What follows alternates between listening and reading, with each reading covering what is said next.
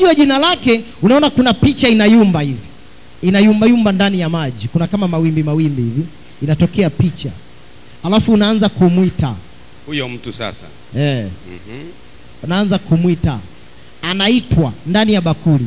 Anaonekana kama ana inayumba ile picha kwa sababu kuna mvutano ndani yake pia. Anaitwa kama anakataa hivi. Lakini unaendelea kumwita unaendelea kumwita mwisho anaanza kukubali. Un- unamwita kwa jina eh, unamwita kwa jina. Yaani kama unamshawishi fulani njoo basi. Mi nakuhitaji rafiki yako. Nakuhitaji bwana. Uje basi. Unambembeleza kabisa. Unamwita kabisa kwa kumbembeleza. Unamshawishi. Unamwita kwa kumbembeleza. Mwisho anaanza kukubali. Akikubali kule aliko. Sasa hii hii inakuwa hatari sana kule aliko anaanza safari hata kama alikuwa na shughuli anaiacha anakuja. Anakuwa kama amechanganyikiwa. Nguvu fulani ya pepo inampagaa. Anaanza safari kimwili kabisa. Kimwili kabisa. Sio kiroho. Anapagawa. Ehe. akipagawa anakuja anatembea. Mpaka anafika pale. Hata kama hapajui hajawahi kufika hata siku moja. Anafika unamkaribisha. Anakuwa kama amechanganyikiwa hawezi kuzungumza lolote wakati huo. Huyu mtu unamvua nguo zote hakatai. Hakatai hata kama jinsia tofauti. Mhm. Ana- unamvua nguo zote. Anabaki hana nguo. Hata viatu kama amevaa unamvua na viatu. Anabaki mwili mwili. Mhm. baada ya hapo huyu mtu unachukua unalipikicha tena lile povu. Linapanda tena. Unalitoa lile povu unaanza kumpaka. Ni dawa ile sumu anapakwa mwili mzima kutoka utosini mpaka unyayo. Yaani mpaka unyayo unatakiwa upate ile dawa. Kwa sababu isipoingia kwenye unyayo kuna wasiwasi akitembea nyayo zinaweza zikaanza kuonekana. Mwili hauonekani unaona nyayo tu. Hii vipi? Sasa kwa hiyo inabidi apakwe kila sehemu ili kila sehemu ya mwili wake isionekane kiungo chochote utakachokiacha kitaonekana. Ukibakiza mkono akitembea mkono utakuwa unaonekana unapepea hewani. Hivi kwa hiyo inabidi kila sehemu ya mwili ipakwe dawa. Ili isionekane. Mm -hmm, baada ya kupaka dawa. Baada ya hapo kuna dua inasomwa tena. Linakuja pepo na sura fulani inakuja na mwili. Pepo linakuja na mwili kabisa. Linafika pale. Unalisomea dua na lenyewe unalipaka dawa. Dawa unapaka lile pepo. Unapaka kwenye lile pepo linakuwa na mwili unalipaka mpaka unyayo. Kila sehemu. Halafu ukilipaka dawa ngozi yake inakuwa kama inababuka. Yani inabadilika ule mbabuko anakuwa kama ngozi inachemka hivi. Inajiumba upya. Anachukua sura ngozi na umbile lile lile la yule mtu uliyemleta. Wanafanana kuliko mapacha. Alafu akishafanana kwa namna hiyo unachukua nguo zile unamvalisha yule pepo. Alafu unamruhusu aondoke lile pepo linaondoka sasa linarudi kule alikokuwa naishi huyu mtu. Kwa hiyo mnaona mnafikiri mtu lakini ni pepo. Limevaa nguo ile ile lina sura ile ile. Alama zote za mwili zile zile sauti inakuwa ile ile kicheko kinakuwa kile kile kila namna inakuwa ile ile. Lakini ni pepo. Mtu mwenyewe yuko mahali maalum kwa shughuli maalum. Kwa hiyo mtu anabaki kule mzima mzima. E, anabaki mzima kabisa Mhm. na ana uwezo wa kuishi mpaka siku yake ya kufa ikafika na akafa aidha kwa ugonjwa au kwa mateso vyovyote vile anaweza akafa lakini sio leo wala kesho siku itafika atakufa kama wanavyokufa binadamu wengine Ehe. lile na hili jini linaporudi kule lina akti kuumwa sasa najifanya kama anaumwa hivi ah, naumwa labda eh, eh, eh, au homa kali au namna yoyote ya kuumwa mnaweza mkaangaika mkampeleka hata hospitali lakini ni pepo ana uwezo wa kukaa siku saba katika uhai ule, au siku kumi. Hawezi kuishi sita wala nane wala tisa, anaishi siku saba au siku kumi.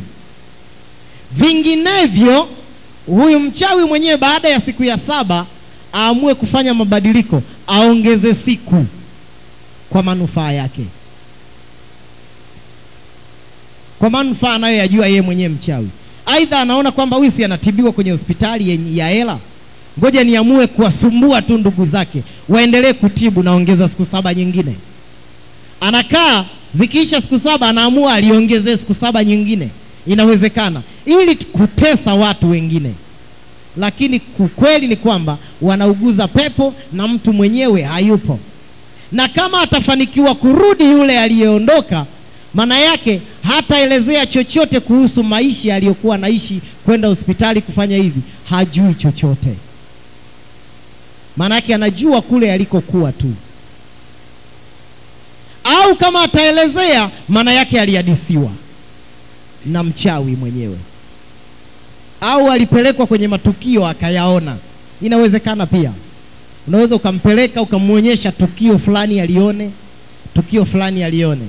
Unaweza ukamruhusu aende Muhimbili, akaenda na akamwona pacha wake jini anavyoteseka, anaweza kuona hayo.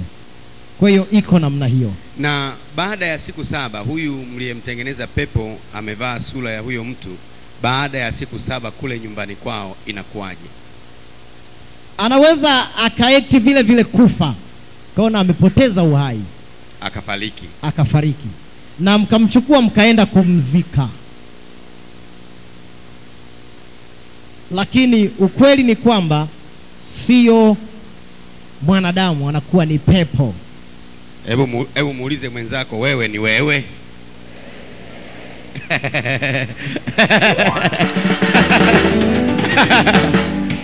Vizuri sana. Nilitaka upate kipande hicho ili uelewe vizuri zaidi. Amen. Swali lingine ambalo ni vizuri ulielezee kidogo, Ah. inakuwaje mtu anakuwa anapoteza fedha, anakuwa na fedha alafu baadaye anashangaa fedha zake zinapotea potea bila yeye kujua. Hebu tuelezee kidogo swala hilo.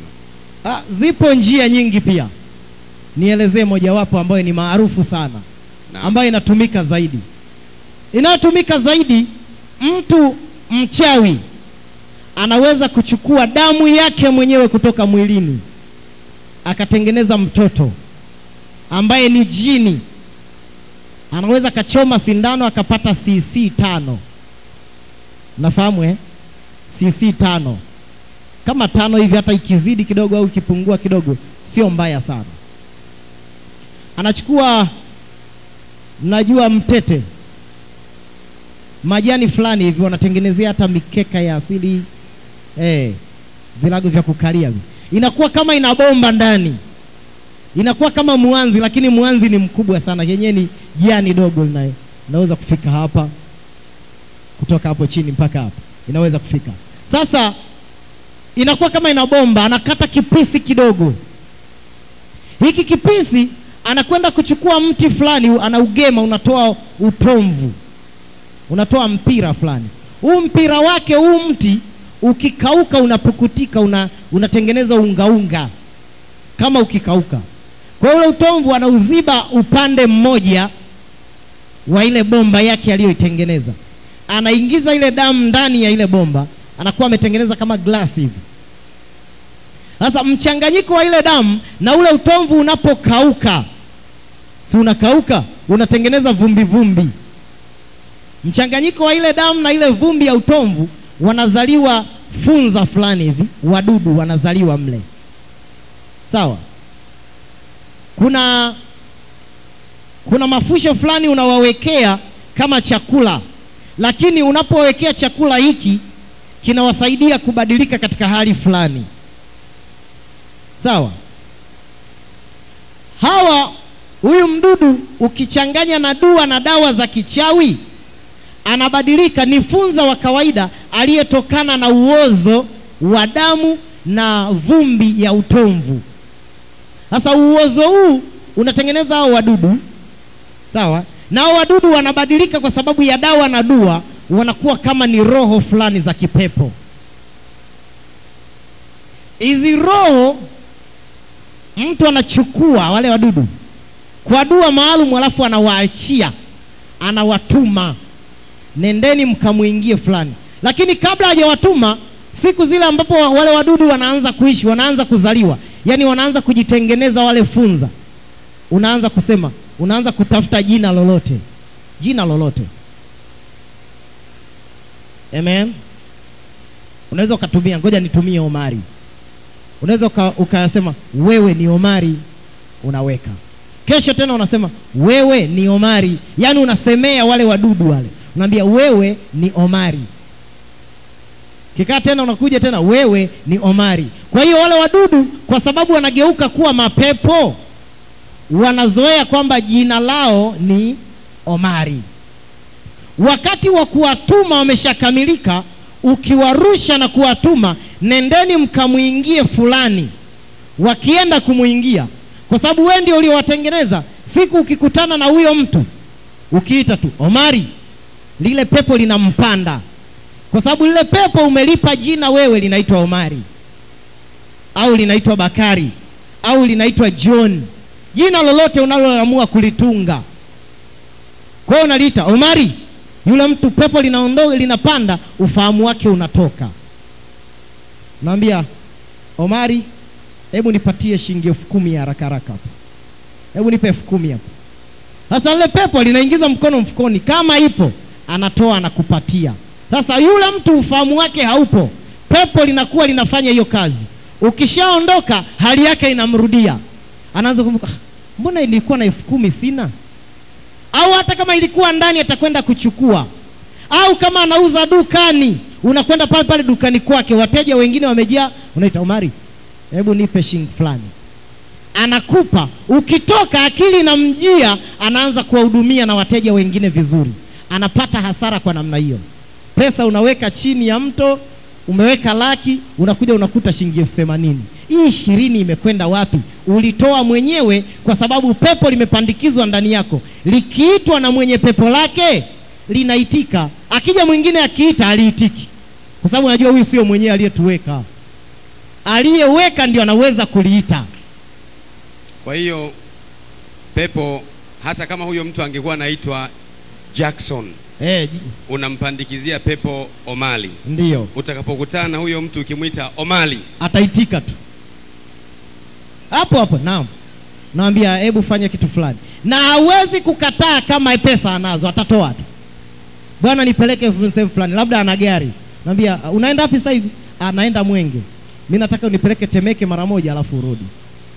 Anakupeleka Temeke, alafu anarudi, ndio anagundua "Ah, haya mafuta yametumikaje? Anaweza akagombana na mafundi gereji, mmeiba mafuta yangu. Kumbe alimpeleka bosi wake sehemu. Naam. ume, umeipata hiyo? Sije kuwa hela huu unatoa mwenyewe. Ehe, hebu tugusie tena, inakuwaje mtu mmoja anakuwa amewekewa balaa au mikosi, hawezi kuolewa, hawezi kuolewa, hawezi kuchumbiwa. Inakuwaje hapo? Mtu anawekewaje kitu hicho kiasi kwamba hawezi kuolewa? Inakuwaje? Kuna wengine tayari wana ndoa na majini, yani ameshaolewa na jini Hebu tuelezee kidogo Eh. sababu kama mbili hivi za kuolewa na jini. za kwa, inakuwaje inakuwaje mtu ana, anataka kuolewa Mm. anachumbiwa kwa mfano anafika wakati labda anaahirisha mwenyewe au anakwenda wakati anafika anaacha ana, ana, ana, anaacha ana, Okay, desha kuelewa. Mhm. Walio wengi wana mapepo majini mahaba haya yanayowasumbua. Anaweza akapata mchumba, wakafanya prosesi zote, mwisho akakataa. Anaweza akakataa yeye au akakataliwa, au mwingine hapati kabisa, akiangalia uzuri anao, shepu ya kuvutia wanavyosema wenyewe, lakini mbona hatokei hata anayesema habari, hata anayesema mambo hayupo? Wengine wana majini hayo mahaba, na labda naomba unipe dakika moja tu. Endelea. Ni nielezee kwa nini jini mahaba linawapenda sana wanawake au wasichana kuliko wavulana. Ziko sababu kabisa za kitaalamu. ukiita watu kuombewa wataanguka zaidi wasichana kuliko wavulana. Ziko sababu za kitaalamu kabisa. Hebu tupe sababu hizo. Eti si siawape au?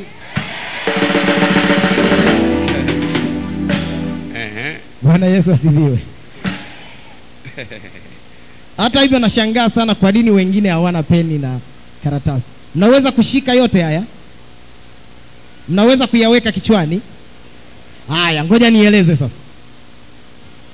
Kila jini, kila pepo lina tabia linazozikubali, iwe mbaya au nzuri. Unajua kuna mapepo mengine pombe hayapendi, japokuwa ni pepo ametumwa na shetani, na ulevi ni kazi ya shetani, lakini jini jingine au pepo jingine halipendi ulevi. Ukiwa mlevi linakukimbia, litakuja tu lile linalopenda ulevi. Pepo jingine halipendi uzinzi, japokuwa limetumwa na shetani yule yule. Kama ukianza kuwa mzinzi, lenyewe linakaa pembeni, linabaki pepo linaloshughulika na uzinzi, ukahaba.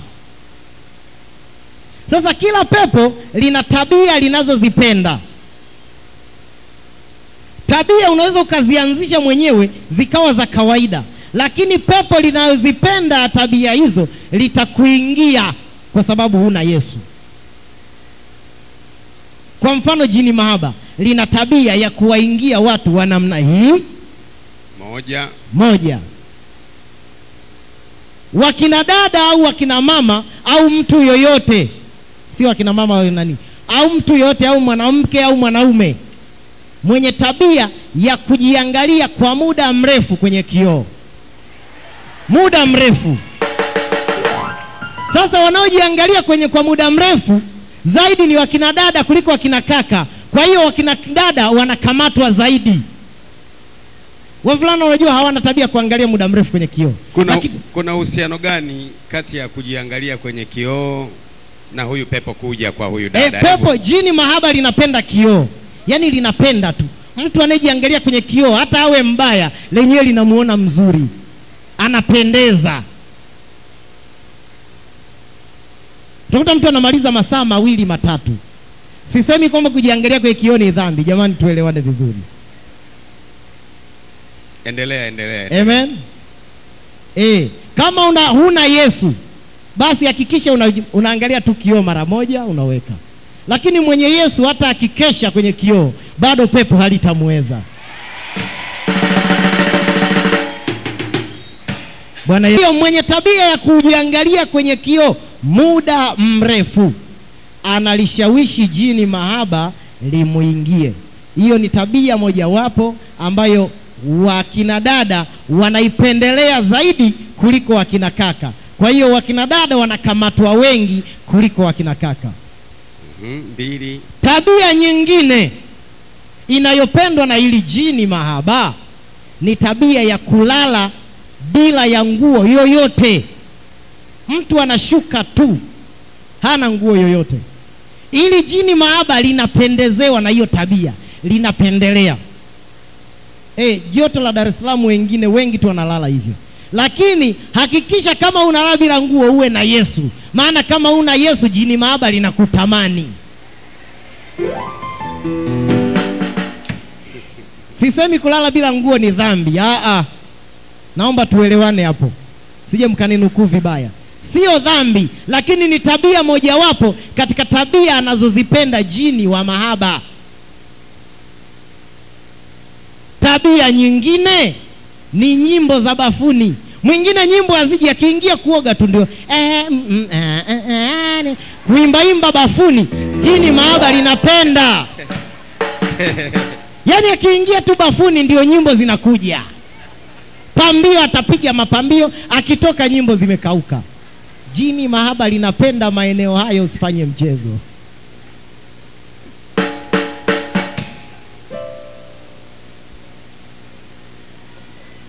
Sisemi kuimba bafuni ni dhambi. Kama una Yesu na una uhakika na Yesu wako, hamjakorofishana sehemu, wewe piga pambio, iwe ni bafuni, iwe ni chooni, iwe kwenye daladala, we imba tu, jimwage.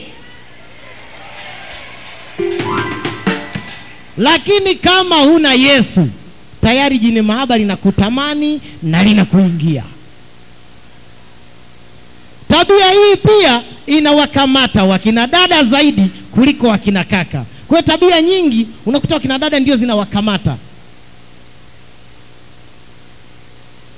Tabia nyingine ni kuogelea bila ya nguo au na nguo ya ndani peke yake, bimaana chupi peke yake, kwenda kuogelea na nguo moja tu ile ya ndani, au usivae kabisa. Sasa hapa ndipo wakina kaka wanapokamatika, huko kwenye kioo, kuimba hawakamatiki sana, hapa ndipo wanapokamatika. Tabia nyingine ambalo jini linapenda ni kujikagua, kujipa maksi. Sawa, eh?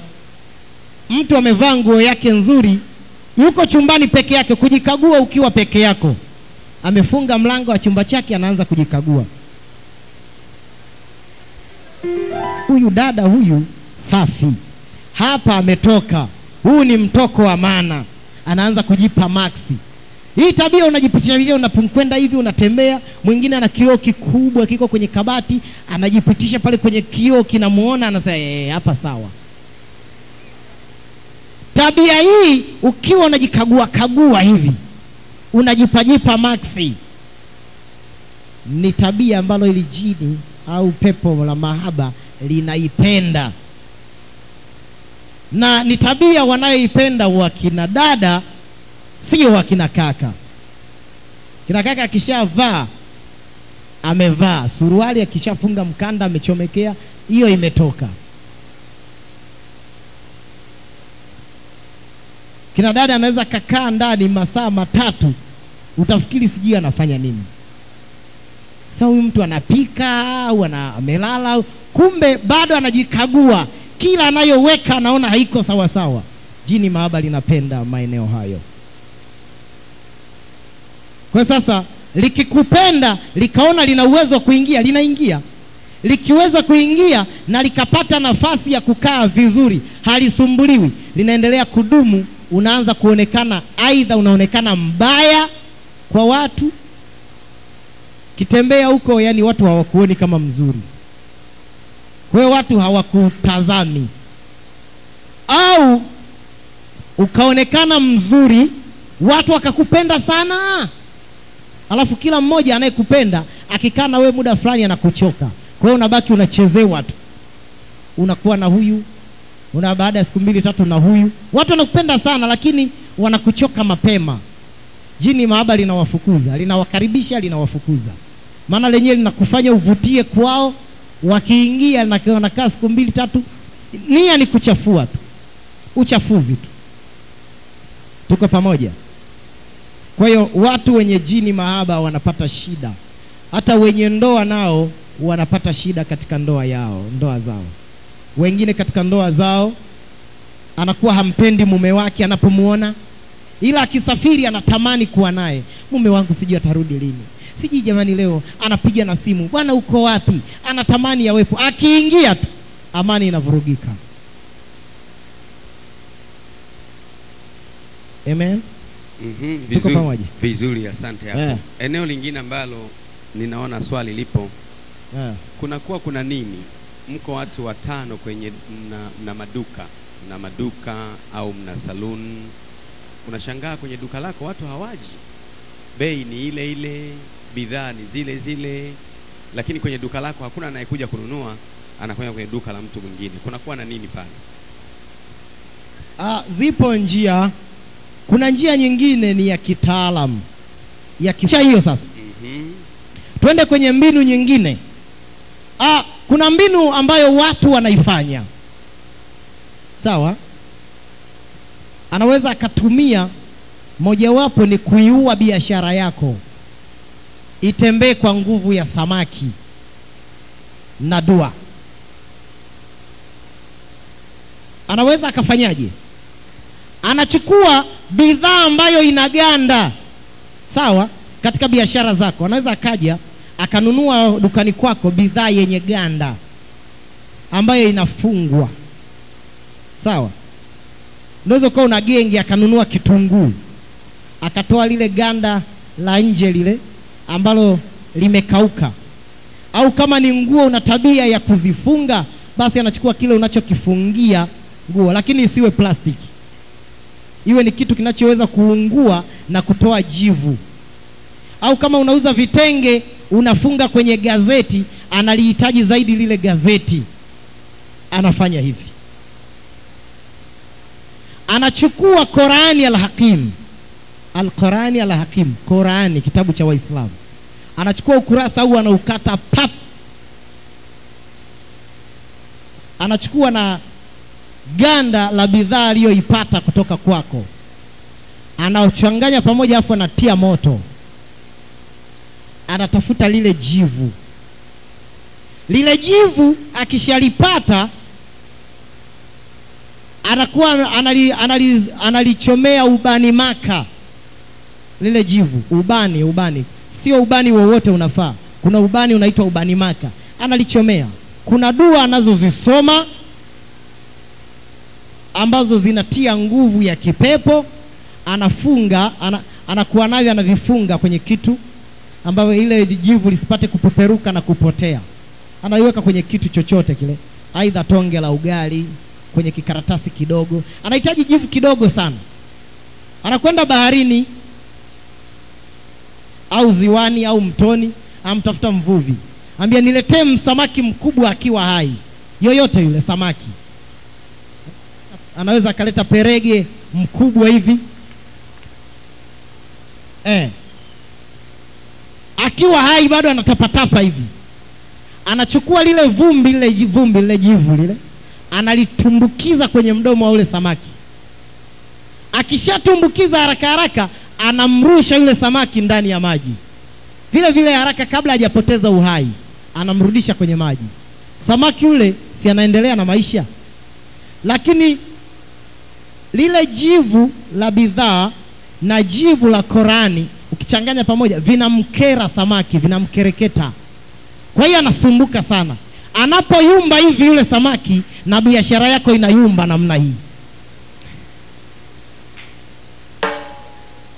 inayumba hivi. Unauza, unaona, unauza, matumizi yanakuwa makubwa kuliko manunuzi, kuliko mauzo. Matumizi yanakuwa makubwa kuliko mauzo, matatizo yanaanza, yaani matatizo tu yatakayoiumbisha biashara yako. Aidha watoto wataanza kuumwa, unatumia fedha nyingi kugharamia matibabu ya watoto. Aidha kuna vitu vinatakiwa vingi ambavyo sio vya msingi, havikutakiwa hapo kwanza, unavihitaji kuvifanya. Wao utakuta umejenga nyumba yako ina fensi, ukuta unadondoka bila sababu, kamvua kamenyesha kadogo, ili mradi tu itumike fedha kujenga ukuta mwingine, maadamu tu biashara iumbe. Samaki Samaki anayumba hivi akitokea mtu akimvua, siku hiyo ndio umefunga biashara. Au ye mwenyewe ikimkera, lile jivu likimkera, anaweza kufa mwenyewe. Akifa na biashara ndiyo imekufa. Niishie hapa. Bwana Yesu asifiwe. Mimi naomba kwa leo niishie hapa, tupate fursa siku nyingine. Asante.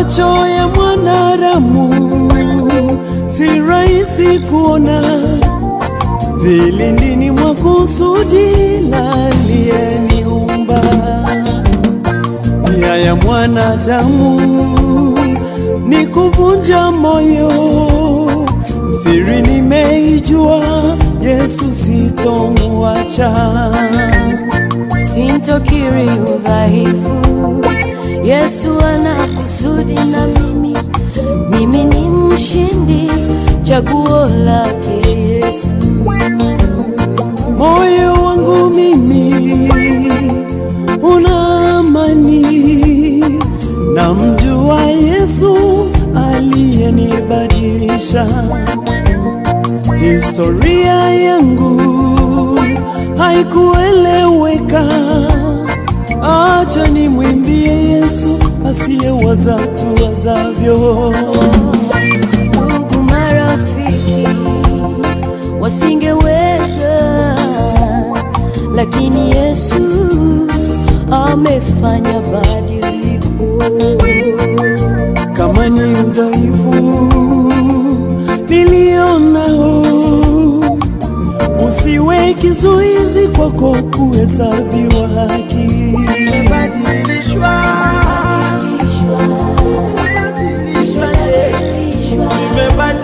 abençoar.